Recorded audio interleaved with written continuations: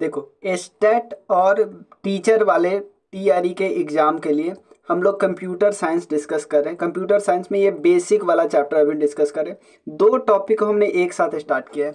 एक तो computer fundamentals बहुत सारे क्वेश्चन आती है, उसको आप इग्नोर नहीं कर सकते। आपको लगेगा कि आसान है बट मेमोरी से बहुत ज़्यादा क्वेश्चन आता है प्रिंटर से बहुत ज़्यादा क्वेश्चन आता है जॉयस्टिक से क्वेश्चन आता है तो कई सारे टॉपिक से क्वेश्चन आते हैं, ठीक है ना?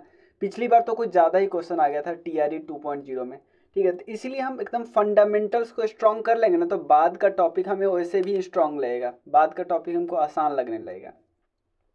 तो चलिए, ये एक वीडियो ऑल ऑलरेडी आ चुका है जिसमें हम बेसिक बेसिक बात किए थे। इसमें हम इनपुट डिवाइस की बात करेंगे। इस वीडियो में हम ट्राई करते हैं कि इनपुट डिवाइस पूरा कंप्लीट हो जाए और आउटपुट डिवाइस पूरा कंप्लीट हो जाए, ठीक है? तो इनपुट डिवाइस में क्या करता है? सिंपल समझो, ये कंप्यूटर है, ठीक है? कंप्यूटर है, इसका मेन पार्ट होता है सीपीयू जिसको हम ब्रेन ऑफ़ द कंप्यूटर बोलते हैं। इनपुट डिवाइस इसमें क्या करता है? एक सिग्नल देता है, यानी डेटा ट्रांसफ़र करता है, इसके बाद ये प्रोसेस करता है और आउटपुट सेंड करता है। ये तो बेसिक है, सबको पता है। तो वो इनपुट डिवाइस कौन कौन है? उस इनपुट डिवाइस के बारे में हम डिस्कस करेंगे। टोटल लगभग एटीन इनपुट डिवाइस है, उसके बारे में हम पढ़ेंगे।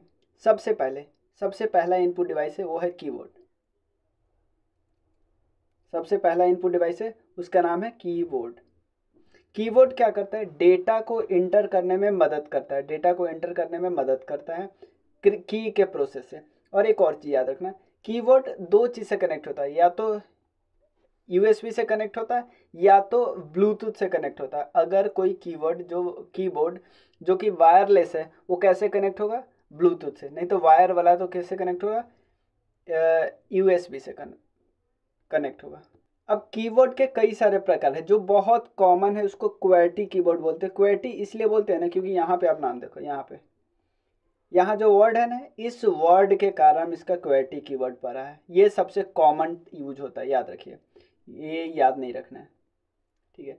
जो सेकेंड कीवर्ड होता है, जिसको बोलते हैं AJT keyword AJT keyword use होता है। ये कहाँ पे डेवलप हुआ? फ्रांस में। बस ये पॉइंट याद रखना कि फ्रांस में डेवलप हुआ।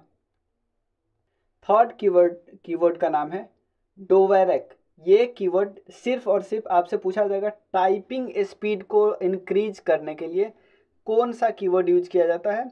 अच्छे से यूज़ करने के लिए ये वाला D V O R A की कीवर्ड ठीक है? तो हमने तीन प्रकार का देखा। एक तो फ्रांस में जो यूज़ होता है फ्रांस फ्रांस में और बाकी यूरोपियन कंपनी यूज़ करती है। और एक एक एजर्टी वाला जो हम लोग भी यूज़ करते हैं और एक होता है टाइपिंग स्पीड को इम्प्रूव करने के लिए। तो कीवर्ड से रिलेटेड इससे ज़्यादा क्वेश्चन नहीं बन सकता। अब हम डिस्कस करते हैं माउस के प्रकार। अब माउस के बारे में देखिए, ध्यान रखना है। एक हैंड हेल्ड इनपुट डिवाइस होता है, हाथ में हम लोग यूज़ करते हैं और आपको पता है कर्सर और पॉइंटर होता है जब माउस को हम इधर उधर करते हैं। क्या इससे क्वेश्चन बनेगा? नहीं। क्वेश्चन क्या बनेगा? कि माउस का सबसे पहले इन्वेंशन किसने किया? Douglas C Engelbart Douglas C Engelbart ये 1963 में। शुरुआती जो माउस था ना, उस सब में आपको क्या मिलता? रोलर बॉल मिलता। अब के माउस में ऐसा नहीं होता, ठीक है?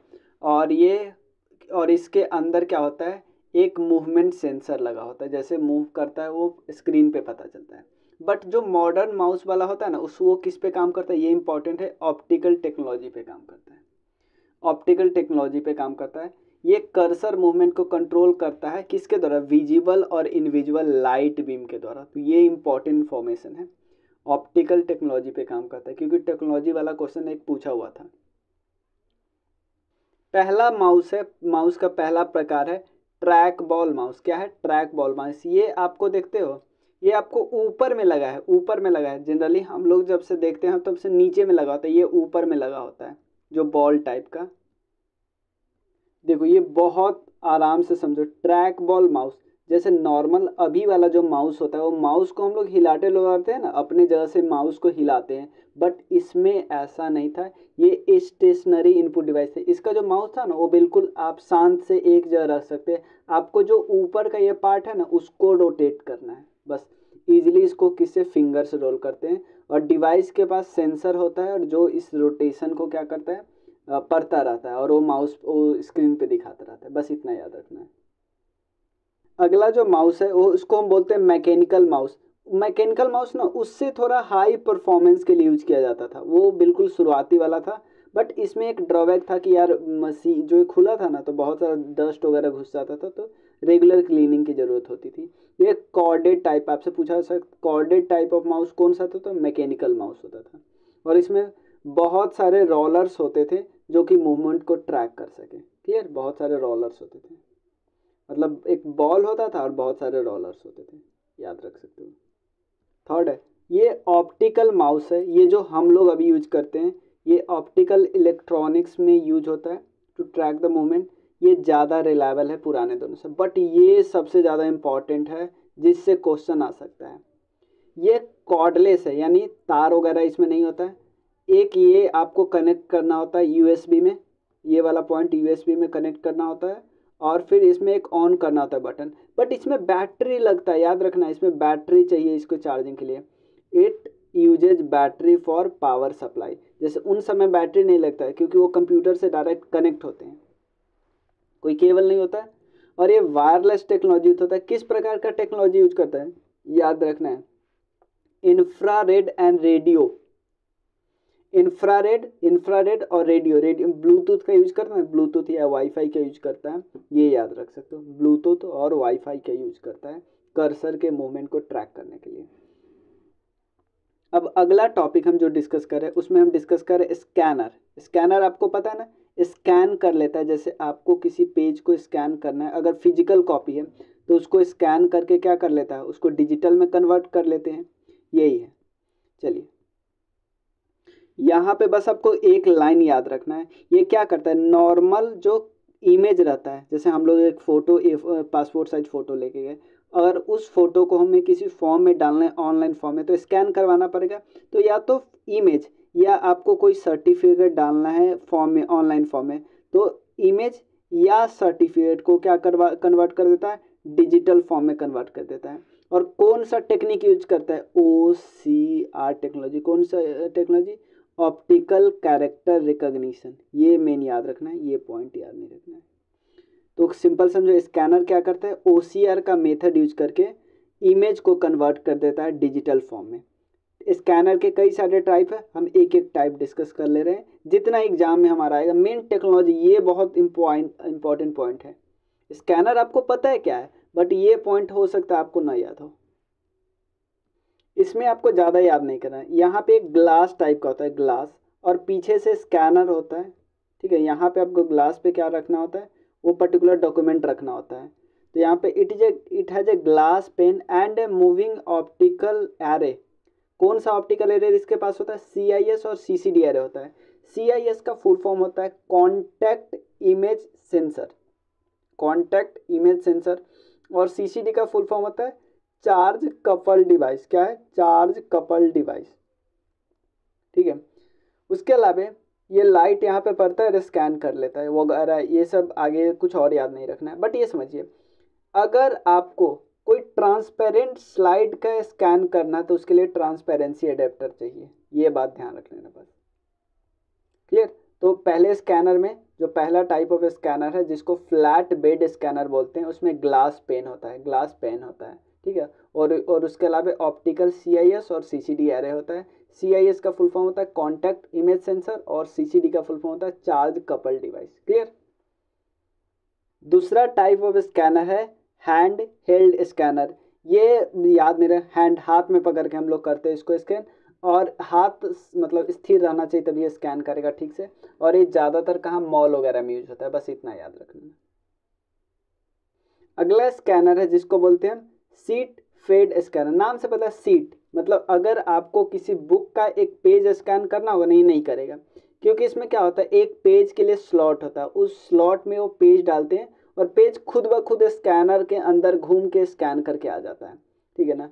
और इसके लिए the light does not move in the scanner. Light move नहीं करता है और ये खुद मूव करता है और स्कैनर के अंदर जाता है, स्कैन कर लेता है। तो मेन कंपोनेंट्स के अंदर जो जो हुआ, sheet feeder, scanning module and calibration sheet, ये ध्यान रखिए ना।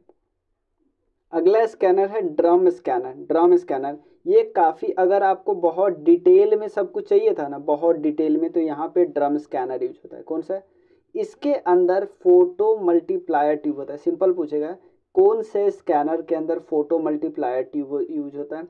तो ये होता है ड्रम स्कैनर। ऐसे पूछ लेते हैं ना और इसके पास अपना जो चार्ज कपल डिवाइस होता था ना, जो फ्लैट वेड स्कैनर में था, ऐसा कुछ नहीं होता। और जो फ़ोटो मल्टीप्लायर ट्यूब होता है ना, वो एक्सट्रीमली सेंसिटिव होता है लाइट का। और इमेज को पता है, ग्लास ट्यूब के अंदर ही डाल देते हैं और वो पूरा इमेज घूमता है और वो क्या करता है, जो इमेज का रिफ्लेक्शन बनता है ना, उसको कैप्चर किया जाता है P T M P M T पे। किस पे? जो इमेज का रिफ्लेक्शन बनेगा, उसको पी एम टी पे कैप्चर किया जाता है। ये स्कैनर बहुत ही हाई रेजोल्यूशन पे काम करता है। तो जहाँ पे एकदम डिटेल्ड स्कैन चाहिए, आपको एकदम एक्यूरेट स्कैन चाहिए एक एक पॉइंट स्कैन चाहिए, वहाँ पे जो यूज़ होता है ड्रम स्कैनर तो हमने अभी तक कौन कौन सा स्कैनर डिस्कस कर लिया? देखो, पहले हमने डिस्कस किया, एक स्कैनर था फ्लैट वेड स्कैनर जो अब जिसके पास अपना ग्लास पेन और optical C I S C C D था। दूसरा हैंड हेल्ड स्कैनर याद कुछ नहीं रखना है। सीट फेड, यहाँ पे बस एक सीट को, अब कोई किताब स्कैन करना, वहाँ ये नहीं यूज़ करेगा। ठीक है? उसका ड्रम स्कैनर है। लास्ट स्कैनर है। लास्ट स्कैनर क्या है? जिसको बोलते हैं फ़ोटो स्कैनर। Photo scanner. इसको फोटोग्राफ्स को स्कैन करने के लिए यूज़ होता है फ़ोटो स्कैनर। हाई रेजोल्यूशन होता है, कलर डेप्थ होता है। ठीक है? और कई, पता है, कई स्कैनर में तो इनबिल्ट सॉफ्टवेयर होता है for cleaning and restoring the photographs. अगर आपको फ़ोटो गंदा भी हो गया ना तो उसको क्लीन करके रीस्टोर करेगा फोटोग्राफ को।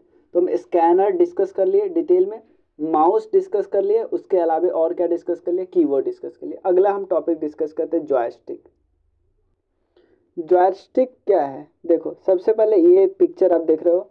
बीपीएससी में इस पर क्वेश्चन पूछा था।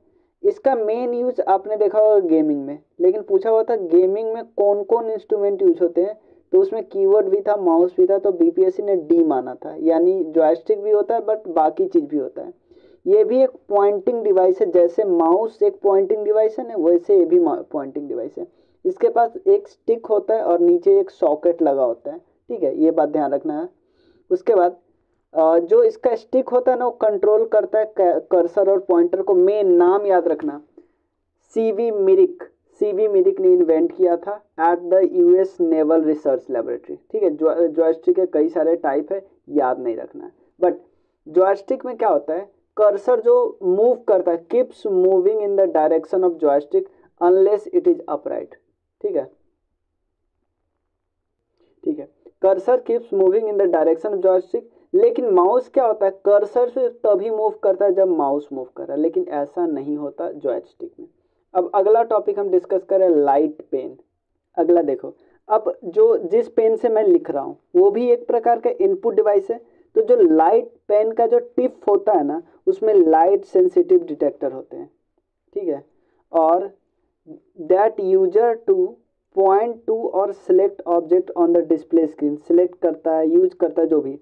जो सेंसिटिव टिप होता है ना, वो ऑब्जेक्ट के लोकेशन को डिटेक्ट करता है और सिग्नल देता है सीपीयू को। और ये एलसीडी स्क्रीन पे कंपैटिबल नहीं होता है। ठीक है ना? ये एलसीडी स्क्रीन पे कंपैटिबल नहीं होता है याद रखिएगा। इसको बनाया गया था 1995 में। एक प्रोजेक्ट था विर्ल विंड प्रोजेक्ट था। कहाँ पे? एमआईटी में। ये तो पता ही एम फुल फॉर्म अगला देखो डिजिटाइजर क्या है? जो हम लोग जहाँ पे लिखते हैं ना लैपटॉप में कनेक्ट करके इसको डिजिटाइजर बोला जाता है।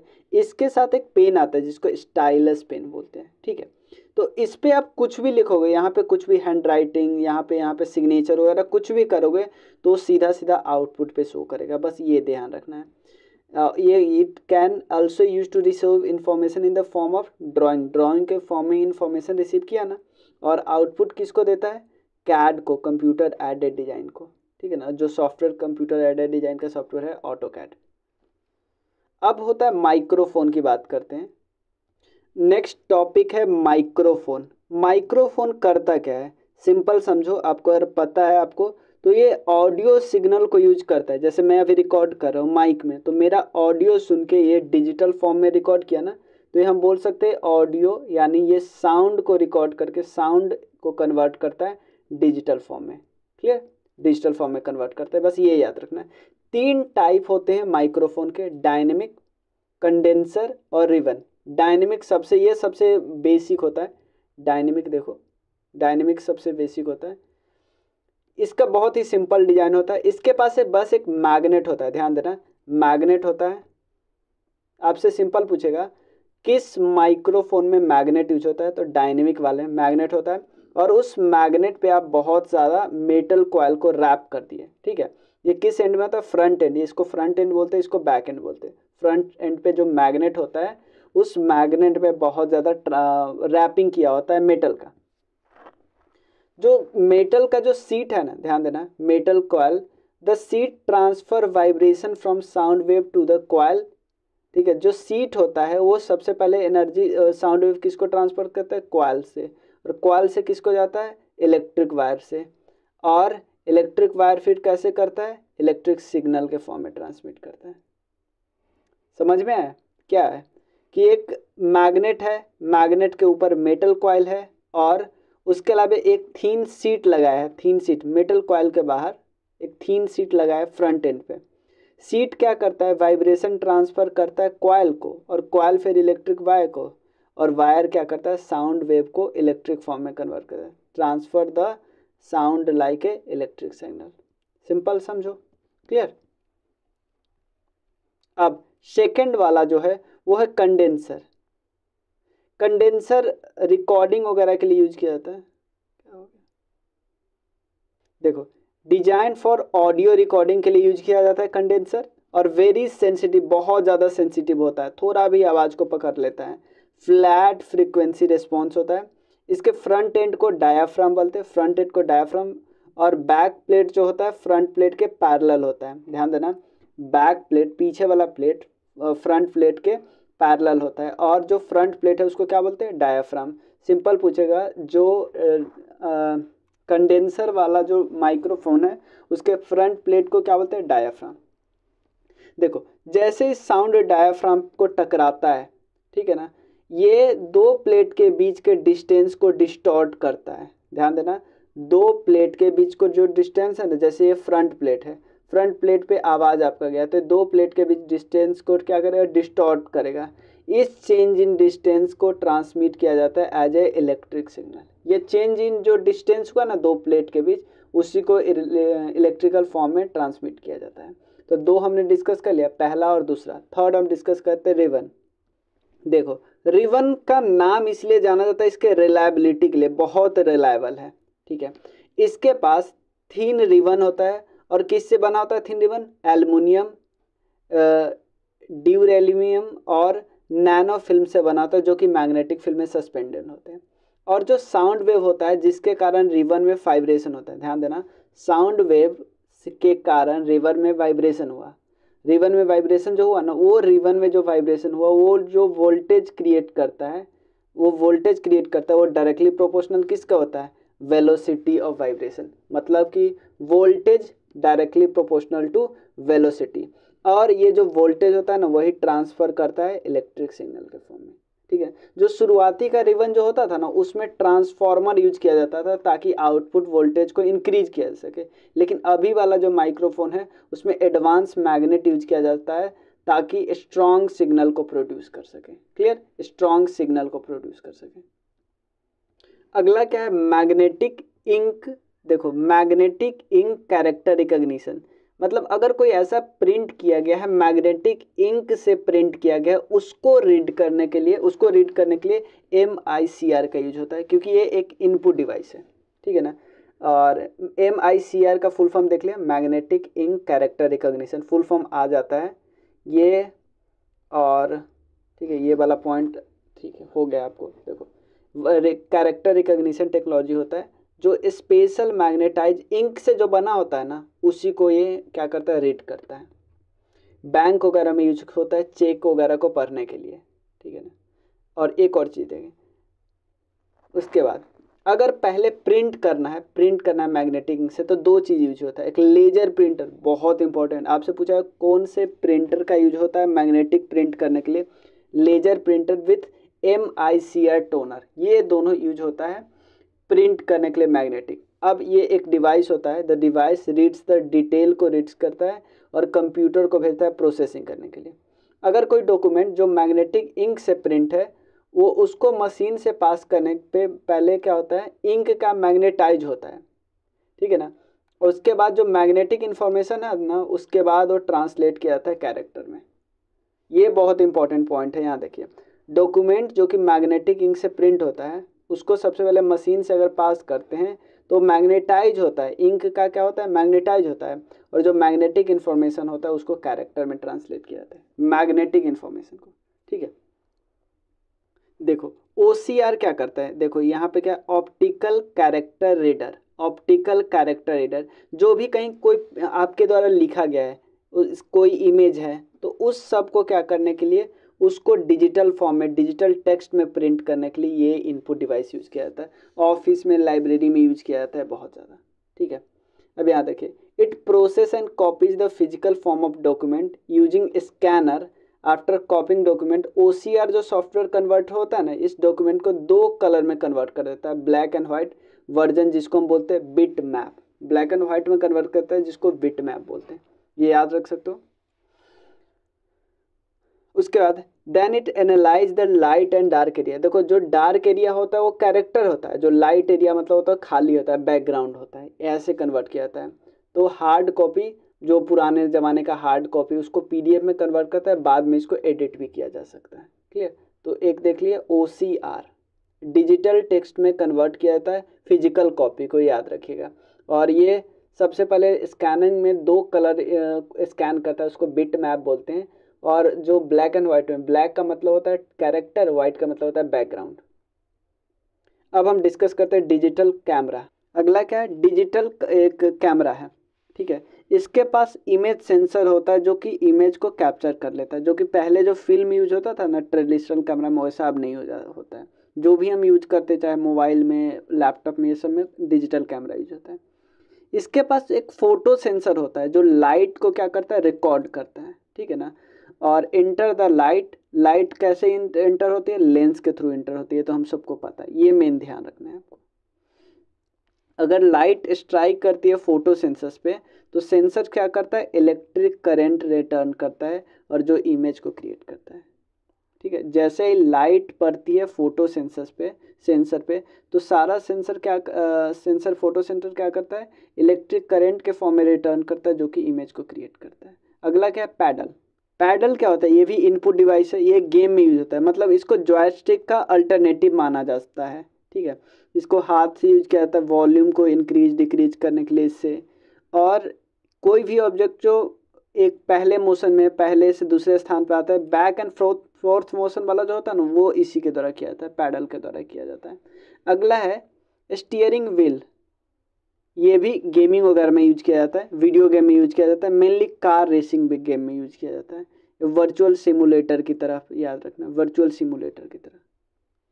अगला है gesture recognition device gesture recognition device देखो जेस्चर जैसे एक एग्जांपल मैं आपको बताऊँ, अब कई सारे मोबाइल में आता है कि पाम अपना पाम हथेली दिखाओ तो वो सेल्फी ले लेता है। इसी को बोलते हैं जेस्चर जेस्चर रिकॉग्निशन डिवाइस एक इसमें से एग्जांपल है काइनेट काइनेट यूज़ होता है जो वीडियो गेम यूज़ होता है। प्लेयर के मूवमेंट पे प्लेयर अगर ऐसे हाथ घुमा रहा है, ठीक है तो उसके इशारे पे काम करता है, ठीक है ना?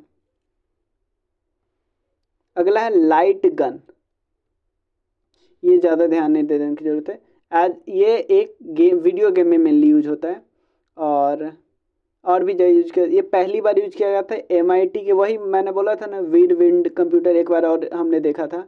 वहाँ पे यूज़ किया जाता है। इसको इसको हम पॉइंटिंग डिवाइस करते हैं और टारगेट को इसमें से शूट करते हैं इसके थ्रू उसका टच पैड तो स्क्रीन में जो जो माउस के पास टच पैड होता है या जो स्क्रीन टच होता है, उसकी बात करते हैं। ये वाला, जैसे लैपटॉप का ये वाला पार्ट होता है ना, उसको टच पैड बोलते हैं। ये माउस का क्या है? सब्सटीट्यूट है। ये पॉइंट आपसे पूछा जा सकता है। रिमोट भी एक प्रकार का इनपुट डिवाइस है। ये हार्डवेयर डिवाइस है जो डिज़ाइन किया जाता है किसी और को चलाने के लिए, जैसे टीवी वगैरह को चलाने के लिए। देखो यहाँ, फ़र्स्ट कॉर्डलेस टीवी रिमोट कब इन्वेंट किया गया? Doctor Robert Adler of Zenith के द्वारा इन 1956 ठीक है ना? ये कौन सा यूज़ किया जाता है? इंफ्रारेड और रेडियो वेव यूज़ करता है। टच स्क्रीन तो पता ही है, जो हम लोग यहाँ पे यूज़ कर रहे हैं। स्मार्टफ़ोन वगैरह पे। ये इसको पहली बार इंट्रोड्यूस किया गया था ई ए जॉनसन के द्वारा इन 1965 और 1970 में सी ई आर एन जो इंजीनियर्स फ्रैंक पर्ट बेक और वेंट स्टम इन दोनों ने बनाया था। मेजॉरिटी इलेक्ट्रॉनिक डिवाइस में आप टच स्क्रीन मिलते हैं। थर्ड है वर्चुअल रियलिटी ठीक है? ये आर्टिफिशियल और वर्चुअल इन्वायरमेंट है। इसको कंप्यूटर में जनरेट किया गया है। वर्चुअल ऑब्जेक्ट दिखाता है कि, ठीक है ना, बस इतने ज़्यादा नहीं जानना इसमें। वेव कैम भी एक इनपुट डिवाइस है, एक प्रकार का हमारा, जैसे मतलब हमारे चेहरे को कनेक्ट करता है मतलब वो उसको दिखाता है, ठीक है? और लैपटॉप में तो इनबिल्ट ये मिलता है बहुत सारे कंप्यूटर में ये अलग से लगाना पड़ता है, ठीक है? बायोमेट्रिक डिवाइस क्या होता है? जो हमारे जैसे fingerprint eye cornea face structure इस सबको कनेक्ट करता है। जैसे फेस स्कैनर होता है बहुत सारे मोबाइल में लगाया जाता है फेस स्कैनर तो ये बहुत कुछ देखता है। ये क्या देखता है? आ, फेस मेज़रमेंट देखता है। जैसे डिस्टेंस कितना है दोनों आँखों के बीच नाक और आँख के बीच मुँह के बीच ठीक है ना? और इसी से आइडेंटिफाई करता है। ठीक है? और इवन ये इतना स्मार्ट होता है कि मतलब सेम साइज़ का पिक्चर है पर्सन का और रियल पर्सन है। उन दोनों में डिफ्रेंशिएट करता है। हैंड स्कैनर यूज़ किया जाता है, ठीक है ना? Palm is even more unique than fingerprint fingerprint तो फिंगरप्रिंट तो यूनिक होता ही है, लेकिन पाम तो और ज़्यादा होता है। उसके अलावा फिंगरप्रिंट होता है, ये हर जगह यूज़ किया जाता है, बहुत सारे अब जगह जगह ठीक है?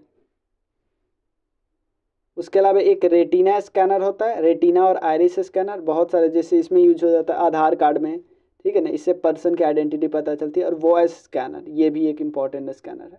तो ये इतने सारे हमने इनपुट डिवाइस देख लिए बहुत सारे इनपुट डिवाइस इसमें कुछ तो का, काफ़ी ज़्यादा इंपॉर्टेंट है क्वेश्चन पूछने के वाले ठीक है? नेक्स्ट वीडियो में हम आउटपुट डिवाइस देखेंगे ठीक है? और अगर कोई भी अगर आपको डाउट होता है तो आप कमेंट कर सकते हो ठीक है ना? उसके अलावा, ये आप बताइए, अब फ़ॉन्ट ये ठीक है? फ़ॉन्ट में लंबा करके भेजता हूँ। फ़ॉन्ट ठीक है या और फ़ॉन्ट ज़्यादा करें, ये भी बता दीजिएगा। ठीक है? उसके अलावा, जो हिस्ट्री वाला जो मैंने पीडीएफ है ना, वो पार्ट वन और पार्ट टू दोनों डाल दिया है। ठीक है ना? दोनों आप देख सकते हो। और उसके बाद एम सी क्यू भी हम डाल रहे हैं। ठीक है? चलिए। इसके अलावा आपको कोई भी डाउट हो ना तो आप टेलीग्राम पे मैसेज कर सकते हो। और कमेंट तो करना ही करना। तो चलिए मिलते हैं फिर। Thank you thank you so much